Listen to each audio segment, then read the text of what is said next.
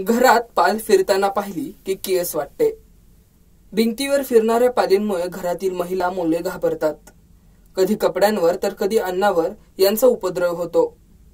पाल स्वयंपाकघरात असेल तर खाण्यापिण्याच्या पदार्थांमध्ये पडण्याचा धोका अधिक असतो.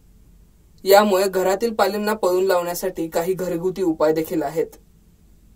लसूण. लसणाचा उग्र वासही पालींना सहन होत नाही. एक स्प्रे बॉटल घ्या. त्यात कांद्याचा रस आणि पाणी भरून घ्या. या पाण्यात लसणाचा रस मिसळा.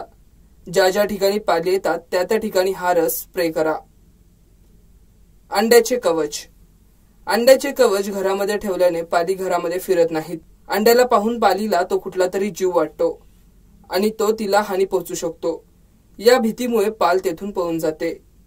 दर दोन ते तीन दिवसांनी टर्फले बदलून हा प्रयोग करावा. मोरपंख. पाली मोरपंखांना घाबरतात.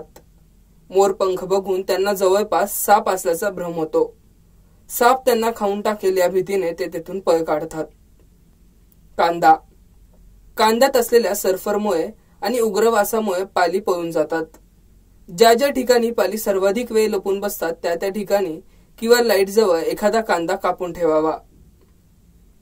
मिरची पावडर. घराच्या कोपऱ्यात मिरची पावडर फवारल्यास पाली पळून जातील. Pepper pesticide spray.